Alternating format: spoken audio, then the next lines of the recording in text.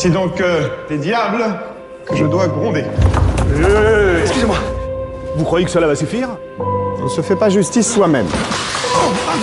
C'était un peu plus gras celui-là, je l'embrancherais bien. Hein. Un droit qui m'appartient à moi. Et à moi seul. Qui est cet enfant? D'Artagnan, votre majesté. Trois duels aux trois heures avec trois mousquetaires. Monsieur Athos a le droit de me tuer en premier, Monsieur Porthos en second et Aramis en dernier. Je vous prie de m'excuser par avance si je ne peux contenter tout le monde. Euh, Je vous trouve bien arrogant, jeune homme. C'est ma seule richesse. Et je la mets tout entière au service de Sa Majesté. Je suis euh, Charles d'Artagnan. J'ai bien connu votre père. Que puis-je faire pour son fils? Aussi loin que je me souvienne, j'ai toujours voulu être mousquetaire. Vous allez rejoindre les cadets. Et peut-être un jour, vous serez mousquetaire.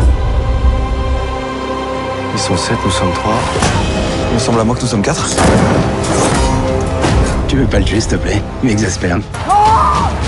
Cette rivalité entre nos troupes est ridicule. Retenez vos soldats, je retiendrai les miens.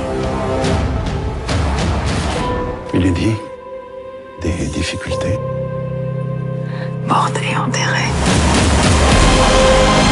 On ne peut pas laisser faire ça. Mais il est innocent.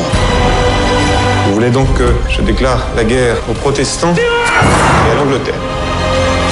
Le cardinal fera tout pour faire tomber la reine. Pour qui travaillez-vous, madame? Le diable, probablement.